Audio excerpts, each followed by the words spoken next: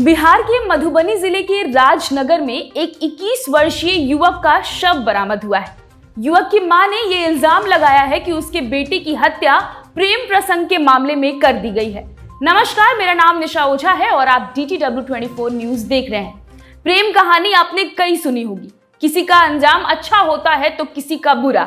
लेकिन जो एक इश्क का अंजाम हमारे सामने आया है, उसमें एक युवक की हत्या कर दी गई है, जिसकी माँ ने यह बताया है कि उसका बेटा बीते 24 मार्च से ही गायब था और अब अचानक से उसका शव बरामद हुआ है। पुलिस फ़िलहाल इस पूरे मामले की छानबीन कर रही है। वहीं युवक की माँ का कहना है कि उसके बेटे की हत्या करने के बाद उसके शव को झाड़ी में फेंक दिया गया।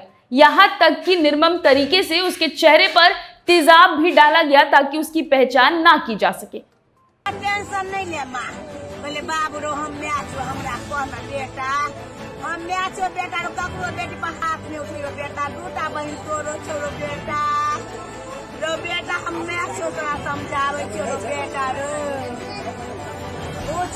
है बारह बजे रात बारह दिन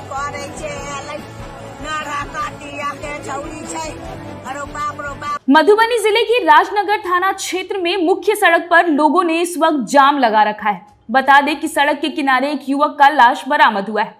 मृतक की पहचान पहिरानपुर के घूरन कुमार महतो के पुत्र 21 वर्षीय अनिल कुमार के रूप में हुई है। उसके चेहरे पर तेजाब भी डाला गया था। मृतक की माँ ने प्रेम प्रसंग में युवक की हत्या का आरोप लगाया है।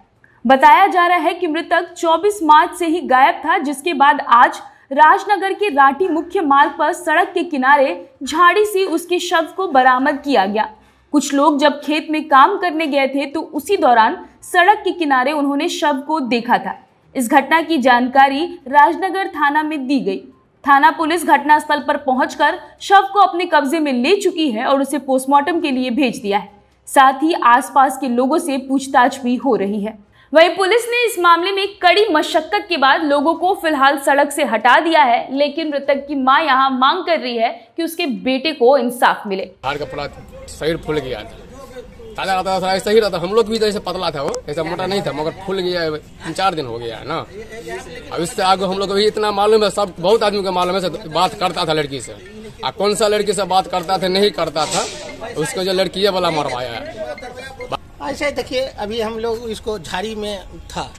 ठीक है? तो सूचना मिला ग्रामीण के द्वारा झाड़ी में आए और पोस्टमार्टम उस्टमार्टम करा, कराने के लिए मृत्यु समीक्षा रिपोर्ट तैयार करके यहाँ दिए हैं। अब मृत्यु समीक्षा रिपोर्ट में जाँच किया आता है उसके बाद कार्रवाई किया जाएगा। बहरहाल आप तमाम बड़ी खबरों को देखने के लिए हमारे चैनल के साथ बने रहें। अगर आप हमारे चैनल पे नए हैं तो फेसबुक पर हमें लाइक करें और यूट्यूब पे सब्सक्राइब कर दें। बहुत बहुत शुक्रिया।